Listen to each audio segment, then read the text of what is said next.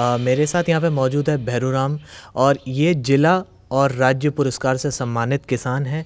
और एक बात और मैं इनसे ज़रूर जानना चाहूँगा कि भैरूराम जी ये बताइए कि पॉली हाउस शुरू होने से पहले किसानों की स्थिति आपके गाँव में कैसी थी और पॉली हाउस के बाद अब किसानों की स्थिति यहाँ पर कैसी है? देखो जी पॉली हाउस चालू करने से पहले किसानों की हालत है ना जो इतनी बेहतर तो नहीं थी, लेकिन ठीक थी। पहले पानी था। पानी की कमी आ गई तो पानी की कमी को देखते हुए यहाँ के काश्तकार है ना, जो ड्रिप और ये फुहारा पद्धति में आ गए और फिर फुहारा पद्धति से आते आते ये ग्रीन हाउस में आ गए। तो ग्रीन हाउस में और भी पानी कम लगता है और इससे रिटर्न अच्छा मिलता है। ओपन खेती से मतलब दस गुना रिटर्न मिलता है इसमें। ये मान लो आप। ओपन खेती में जैसे एकड़ के अंदर एक लाख रुपए होता है तो इसमें दस लाख रुपए की पैदा मिल जाती है। और फ़सल एक साल में दो होती है, इसके अंदर भी और ओपन में भी दो होती है। तो ओपन में एक एकड़ के अंदर मुश्किल से लाख रुपए मिलते हैं पूरी साल भर के अंदर, और ग्रीन हाउस के अंदर एक एकड़ के अंदर खर्चा काट कर बटाई देख करके फिर भी दस लाख रुपए मिल जाते हैं।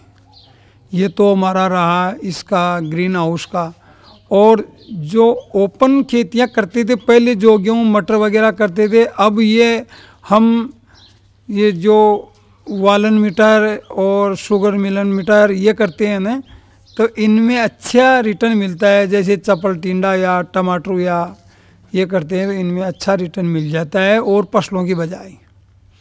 और वैसे तो ये जयपुर ज़िला है ना, जिसके अंदर ये जो बसेड़ी गाँव है, इसमें खेती के अंदर बहुत एडवांस काश्तकार बन गए हैं और कोई भी स्कीम आती है तो उसको पहले तुरंत जानकारी लेकर के और उसको लगाने की कोशिश करते हैं और लगाए भी हैं और लगाने के बाद में उन्होंने मेहनत की है और उनसे रिटर्न भी मिला है इनको। रिटर्न मिला है तो फिर आदमी के पास में जब पैसा आ जाता है तो उसको अपने आप ही आगे और दूसरे काम दिखने लग जाते हैं। बिल्कुल।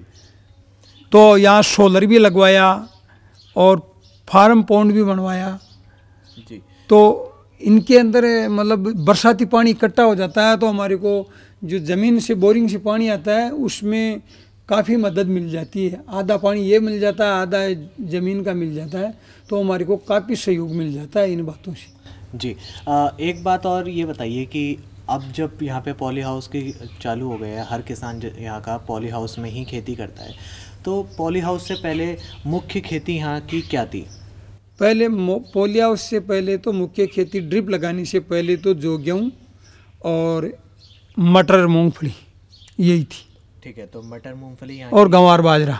गवार बाजरा मटर मूंगफली यहाँ की मुख्य हाँ। खेती हुआ करती थी हाँ। अब मैं यहाँ देख रहा हूँ कि यहाँ पर थाईलैंड के क्यूकम्बर उगाए जा रहे हैं नेदरलैंड क्यूकम्बर उगाए जा रहे हैं हाँ। टमाटो यहाँ उगाया जा रहा है तो हर चीज़ पे पकड़ बना चुके हैं अब आप अब तो यहाँ तो हाइब्रिड वेराइटियों का बीज आने लग गया जैसे प्याज है ना जो पहले हम बोते थे हमारे तो एक एकड़ के अंदर करीबन साठ सत्तर क्विंटल निकलता था और अब जो ये हाइब्रिड का जो ननम्स का बीज आया मातेरी नाम का तो ये करीबन एक एकड़ के अंदर 300 क्विंटल निकल जाता है आ, एक सवाल मैं आपसे एक पूछना चाहूँगा कि भारत की जनसंख्या को देखते हुए अगर हर कोई पॉली हाउस करने लगेगा तो हाँ। आपको क्या लगता है कि जनसंख्या बराबर इतना प्रोडक्शन हो पाएगा उत्पादन इतना होगा अगर हर कोई पॉली हाउस करने लग जाए नहीं तो जनसंख्या बढ़ेगी हर कोई पॉली हाउस करने लग जाएगा तो सभी को खाने पीने में मदद मिलने लग जाएगी, इसकी रेटें हाई नहीं जाएगी।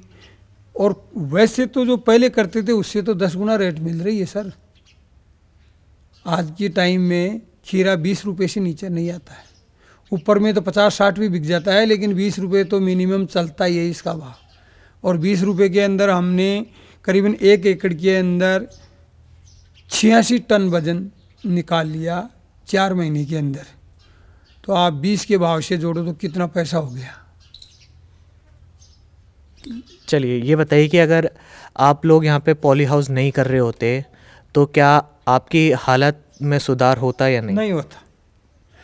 हमारी हालत में सुधार नहीं होता क्योंकि ओपन खेती से इतना पैसा मिलना असंभव था।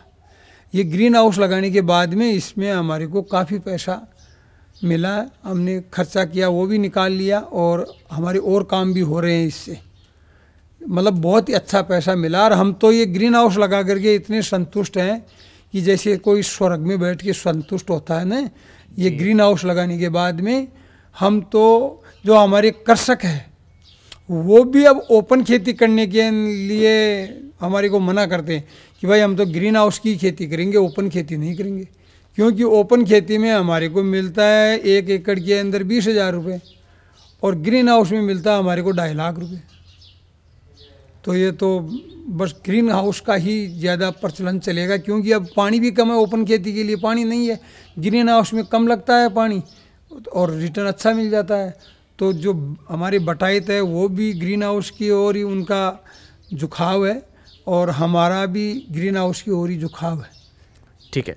आ, ये बताइए कि आप हमारे किसान ऑफ़ इंडिया के किसान भाइयों से क्या कहना चाहेंगे?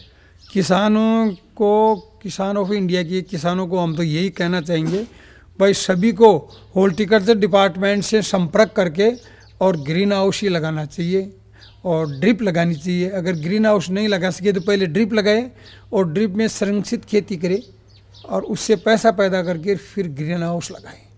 ग्रीन हाउस लगा लेंगे तो उनको अच्छा रिटर्न मिलने लग जाएगा और उनका भी जीवन सफल हो जाएगा। जी बिल्कुल। धन्यवाद सर।